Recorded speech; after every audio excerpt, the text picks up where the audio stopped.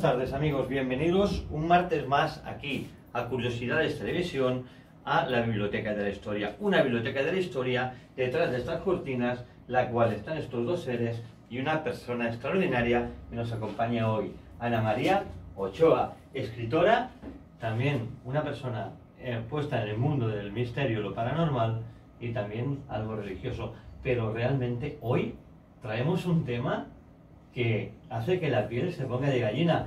Ana María, ¿de qué estamos hablando? Pues estamos hablando del pequeño bastardo. Little Bastard. Sí, sí, el pequeño bastardo pues es el coche en el que falleció James Dean, que todos hemos conocido y como bien hemos estado haciendo el reportaje, se dice que su pareja sentimental eh, le, lo maldijo. Una pareja sentimental que tenía el pelo blanco y negro Negro. y que era la protagonista de los 101 Dálmatas. Un- eh, Increíblemente una, una pareja extraordinaria, no solamente de carácter, sino de, de- de físico, porque e- eran controvertidos físicamente y espiritualmente, pero ella tenía un poder, dicen, extraordinario en el mundo paranormal y que ella se cree que hizo la maldición. Pero yo creo que es más tema de energías, ¿no? Bueno, ella era conocedor, conocedora de la magia negra y se dice que hacía, trabajaba la magia negra y hacía ri- Rituales. Sí que es verdad que las maldiciones no dejan de ser energías. Depende de la fuerza, porque si una persona cree en las maldiciones, tú crees en las maldiciones. Yo evidentemente creo en las maldiciones, en las energías y todo lo que tiene que ver en este mundo, porque a más a más, desde aquí Curiositas TV lo trabajamos en otro programa que, es La Luna Misteriosa, en alguna colaboración con otros grupos, a nivel de investigación colaboramos con, con entes que no vamos a decir porque no queremos mm, de esto, pero colaboramos con mucha gente fuera de, de nuestro programa, gente muy conocida, y realmente eh, las energías existen, las energías no se destruyen ni se crean, se- se- se- simplemente se transforman, ¿no?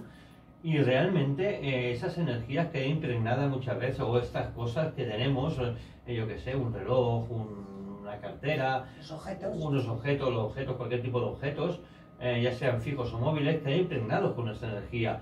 Y esa energía eh, es una energía residual que a veces incluso puede hacer daño, puede hacer daño y crear ciertas cosas que desconocemos, porque en este mundo nunca se acaba de aprender y como científicamente muchas de las cosas no se pueden demostrar, no sabemos lo que hay más allá.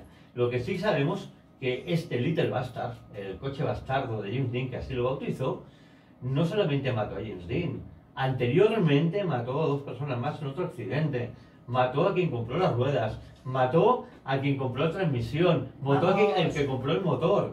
David, vamos a desvelar muchos secretos. Muchos secretos, vamos a parar aquí, vamos a parar aquí, Vamos a tienes, parar tienes aquí mucha porque- razón. Pues, Ana María, Ana María Ochoa, gracias una vez más por participar en este programa. Nos vemos después del, Del reportaje y a todos vosotros os digo, mirad este vídeo porque no os dejará indiferente. Hasta ahora, amigos. Hoy, en nuestro programa de Curiosidades Televisión, vamos a hablar de una persona muy especial. Hablaremos de James Byron Dean, que nació en Marion, Indiana, un 8 de febrero de 1931 y murió en Cholame, California, el 30 de septiembre de 1955. Sí, para muchos de vosotros ya sabéis de quién estamos hablando. Hablamos del famoso y mítico actor James Dean. Un actor que durante la década de los años 1950 se mudó a Los Ángeles, California. Está considerado como un icono cultural de desilusión adolescente y distanciamiento social, como explica en su película más célebre Rebeldes sin causa, rodada en 1955 y en el que interpretó el papel de un extrovertido Jim Stark, un problemático adolescente de Los Ángeles y otros papeles que definieron su estrellato fueron el solitario Cal Trash en El Este del Edén y el peón Jeff Ryan en la película Gigantes del año 1955. Tres famosas películas que lo lanzaron al estrellato en el tiempo de solamente un año. Un actor que aunque parezca mentira, en solamente un año hizo de tres películas que llegara a ser este un héroe nacional y también una de las personas más fotografiadas, más seguidas y más envidiadas por todo el mundo. Un James Dean que con la película Rebelde sin causa del 1955 hizo que el mundo del rock and roll se fijara en él y fuera puesto junto con Marilyn Monroe en un estandarte en el cual protagonizaban las estrellas y los sueños de muchos rockeros de esta época y también de ahora. También después de su muerte, James Dean fue el primer actor internacional que recibió un Oscar como mejor actor póstumo de la historia del cine. Un actor que si no hubiera sido por su temprana muerte en ese coche, el Little Bastard, Little Bastardo o Pequeño Bastardo, seguramente habría guardado o había creado miles de películas que hubiéramos guardado todos en nuestra filmoteca particular. Pero desgraciadamente James Dean falleció en un brutal accidente de circulación en el cual iba con su mecánico y él perdió la vida al instante al chocar contra o perder el control contra otro coche que era conducido por un estudiante. La maldición dice que empezó antes de que Dean comprara el vehículo, ya que éste al parecer ya había matado a dos personas en un accidente de carretera. Luego de su muerte, el diseñador de automóviles George Barris compró los restos del pequeño bastardo por exactamente 2.500 dólares. Durante la entrega del auto resbaló del tráiler, rompiéndole ambas piernas al mecánico. Luego un doctor de Beverly Hills llamado Trey Henry también compró ese vehículo para utilizarlo en su beneficio y también para poner ese motor en su Porsche. Pero al sacarlo por primera vez, una vez cambiado el motor y puesto en su vehículo el motor de James Dean, este perdió el control y acabó estrellando su coche contra un gigantesco árbol y hizo que perdiera la vida al instante.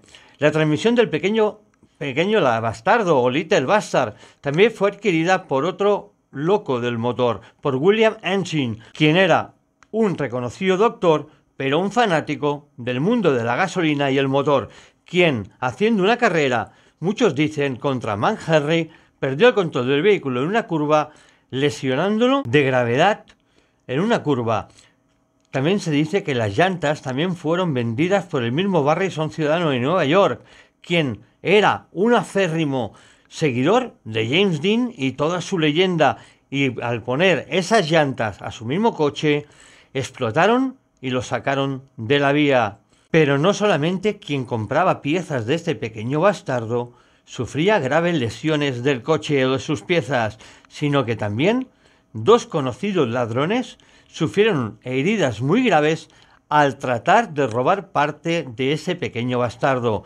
Y Barris a raíz de todo esto, decidió guardar lo que quedaba de este coche en un garaje seguro, pero sin embargo, después de ser guardado detrás de algunos coches, ese garaje se incendió de tal manera que cayeron hasta los cimientos, pero el único coche que no sufrió ningún daño, casualmente, fue el pequeño bastardo. El mismo año, la Alemania llegó al máximo y los restos de este auto maligno, o con esta maldición que mató a James Dean y otras personas, fueron cedidos a varias escuelas de conducción para que la gente que se estaba sacando el carnet se diera cuenta del peligro que era la carretera y el exceso de velocidad.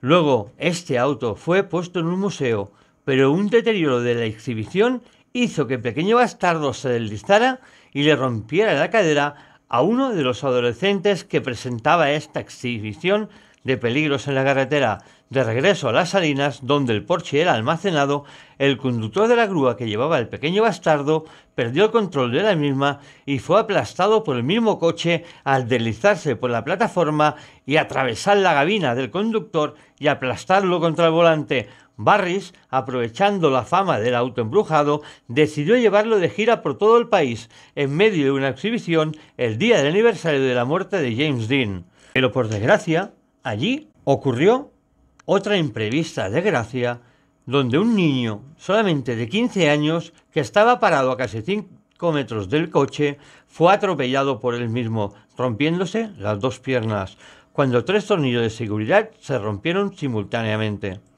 Luego de esto, Barris decidió regresar el auto a California, pero durante el viaje el tren del auto desapareció misteriosamente y esa caja maldita con el coche, el pequeño bastardo, incluso que después se vio que la puerta del tren estaba cerrada con el mismo candado en el cual lo habían protegido, seguía cerrado e intacto mientras que el coche había desaparecido del vagón de tren y nadie nunca más supo de ese pequeño bastardo.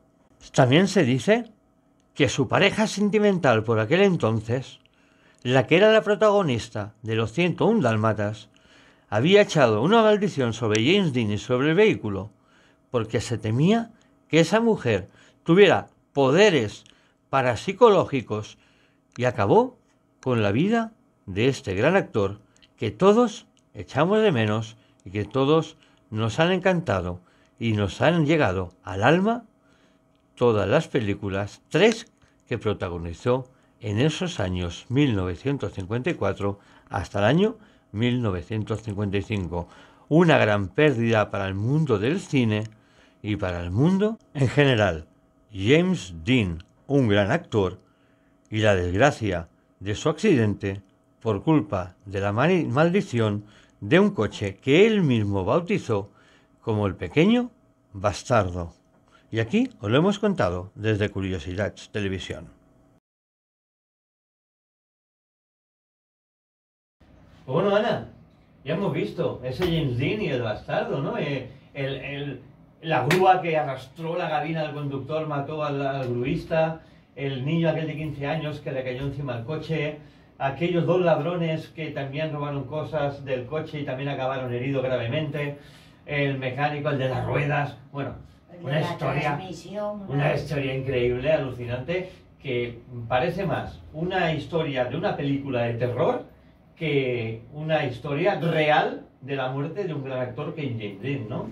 Pero tú crees en las maldiciones. Yo creo en las maldiciones, hay muchas, y yo creo que la semana que viene vamos a hablar de una muy importante que luego desvelaremos, pero centrémonos ahora en James sí, porque eh, eh, con la muerte de James Dean y, y el periplo que tuvo ese coche, podemos decir que hasta su gran amigo eh, quiso beneficiarse de esa muerte, yo no sé si fue maldición por parte sentimental o fue que James desde el otro lado desde el lugar donde se encuentre, eh, vio que todo el mundo quería aprovecharse de él. de su muerte, de su coche, y quizá la maldición se, eh, yo creo que vendría un poco del otro lado por parte de él. Sí. Estamos desde luego en un programa de historia, pero también, dentro de Curiosidades TV, también tocamos programas de misterio y de energías, ¿no?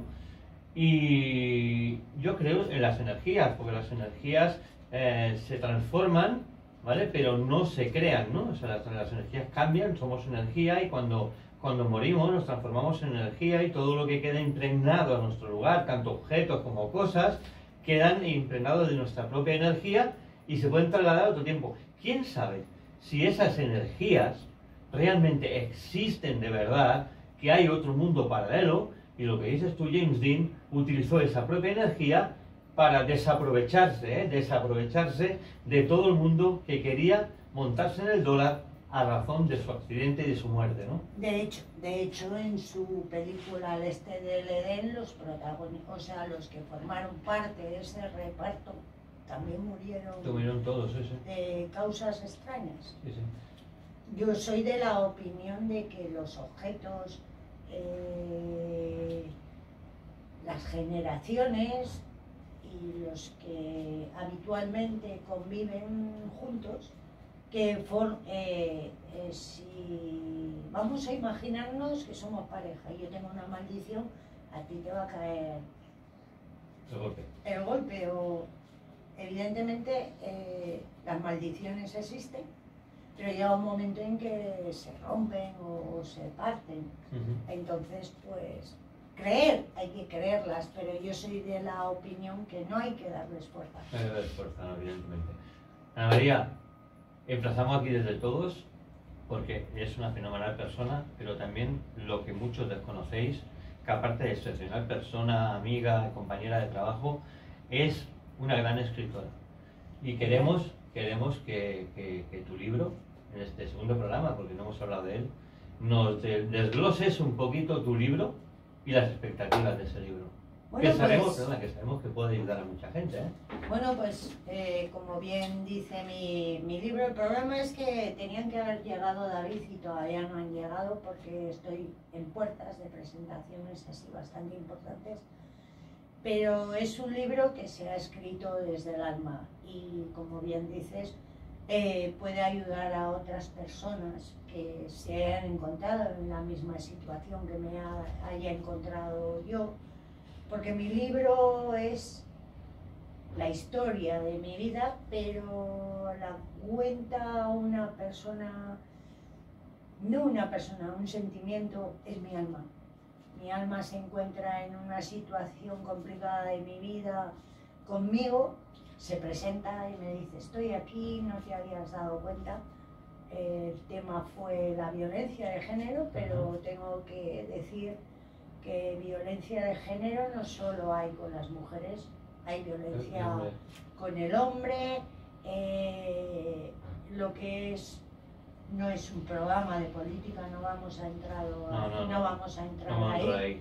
pero verdaderamente las víctimas se encuentran muy perdidas y a veces se caen. Y lo que habla ese libro en diferentes sucesos que ocurren en mi vida, pues el alma me dice, no te das cuenta, aprende a quererte. Si tú te quieres, podrá Todo el mundo te querrá. todo el mundo te querrá, empieza a encontrarte a ti mismo, a los oyentes que estén en situaciones que, que no pueden levantarse. Verdaderamente cuando nos ocurren hechos duros en nuestra vida, verdaderamente descubrimos... Maldiciones, maldiciones de nuestra vida. Bueno, sí. maldiciones, a veces las maldiciones no las hacemos nosotros, Nosotros mismos. mismos.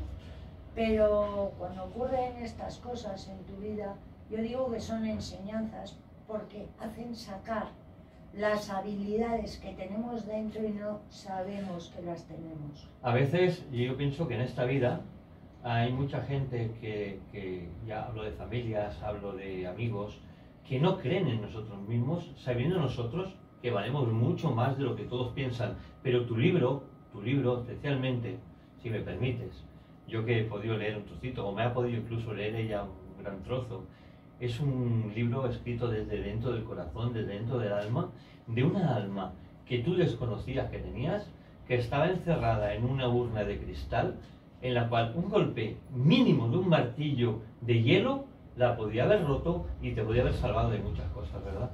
Bueno, es que a veces Alma me dice, oye, que tienes una vocecita aquí que no todas veces escuchamos, a veces intentamos ir por caminos que no nos pertenecen. Y entonces esa, esa vocecita, todos la tenemos, esa vocecita que te dice, no creo, no va a salir bien, te has equivocado. Pero a veces es duro aceptar que te equivocas o que verdaderamente pues quieres seguir lo que tú crees. Yo siempre digo que en vez de, yo no actúo con la cabeza, actúo con el corazón, así me va algunas Algunas veces. Pero yo prefiero actuar con el corazón y, y vivir lo que me pertoca, porque a veces la vida también son enseñanzas. Pues amigos, no lo perdáis. Ana María Ochoa, una excelente persona, amiga, compañera de trabajo, aparte una persona extraordinaria a nivel mm, 10, una persona que seguramente cuando la conozcáis eh, en persona os entrará dentro del alma y os hará diferentes, os hará mejores personas y una mujer que merece todo lo bueno después de lo que ha pasado. Pero excepcionalmente es una persona que yo aprecio muchísimo, por eso está aquí en este programa, por eso va a seguir siempre en este programa. y que espero que muchos de vosotros la conozcáis y compráis vuestro y compréis su, pues, su libro para entender la magnífica persona y extraordinario ser de luz que es Ana María Ochoa. Pues amigos, no tenéis que comprar mi libro solamente con lo que David ha dicho de mí, ya no hay que escribir libros. Bueno, Ana María, para no desviarnos eh, de camino, Exacto. vamos a hablar del próximo programa, que es eh, un programa también de lo mismo, de lo mismo de James Dean, de, de- de energías y de cosas y maldiciones, y hablaremos de la maldición de una familia extraordinaria que muchos no saben, y mira que se han llenado páginas, páginas y páginas de periódico y de televisión, y todavía quedan muchas cosas por descubrir. Hablamos de John Fisher Kennedy y la maldición de los Kennedy. Nos veremos la semana que viene aquí con este tema. ¿Tienes algo que decir sobre esto, Ana? Eh, bueno, todos hemos conocido los Kennedy. eh, los Kennedy. Sí, verdaderamente, que es que además, como estábamos hablando de James Dean, la maldición de los Kennedy ha llegado hasta, Hasta lo más hondo del... hasta aquí, hasta nuestros días, pero decir que a veces estar en el poder supone pactar hasta con el diablo. Hasta con el diablo, incluso hacer locuras, porque John Fisher Kennedy, cuando había la Guerra Fría con Estados Unidos, con el tema de misiles el tema de, de la, de la lucha espacial, quiso convertir Estados Unidos en una cúpula de vidrio para si llegaran misiles rusos no se pudieran colar dentro de las tierras de Estados- eh, de- de Estados Unidos, ¿no? Locura, leyenda Visionario. o visionario. No lo sabemos, pero lo descubrimos la semana que viene aquí en Curiositas TV de la mano de Ana María Ochoa y un servidor, David Flor. Hasta la semana que viene, amigos. Hasta la semana que viene os esperamos.